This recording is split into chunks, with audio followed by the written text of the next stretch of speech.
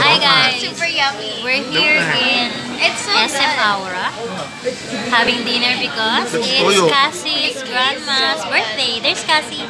Can I dip my food there? Yeah. And of course, Ate and of course Claire. And this is her Don't like. Cassie and Kali. Hi. Hi.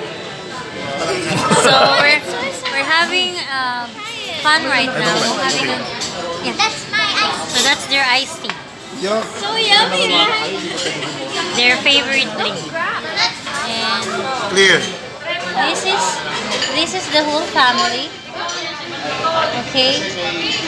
So there's uh Cassie's grandmother is having her birthday now.